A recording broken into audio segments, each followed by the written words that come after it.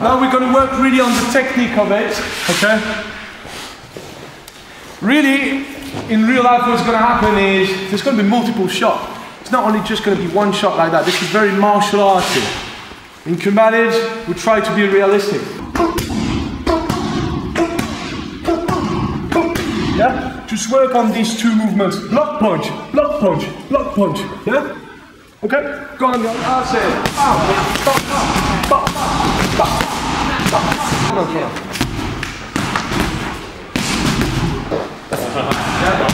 what you want to get to we want, stay there,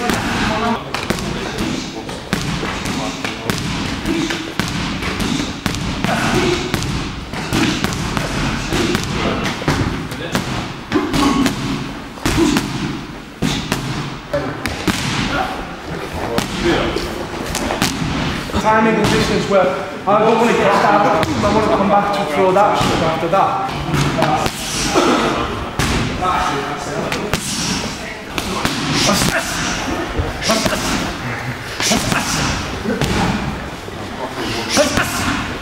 I erase my body, my upper body, because I don't want to get, I don't want to trade a knife stab for this.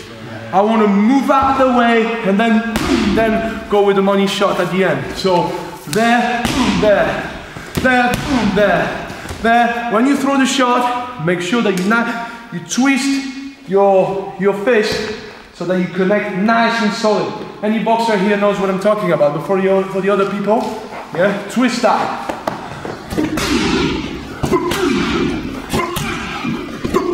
Yeah, nice knockout shot at the end.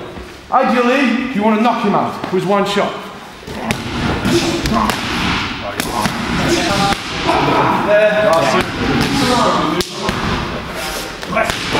It's about timing, it's about distance, it's about precision.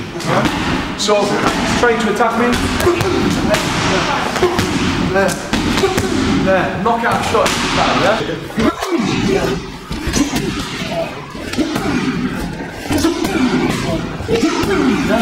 So, kind of moving back, blocking him, boom, you go like big, big shot. You want to knock him out with one shot, ideally. Then you, you, you're leaving it on me to make the space as well, aren't you? So he's moving towards you, but you, you kind of move back and on the way out, bam, you get him with that shot, yeah?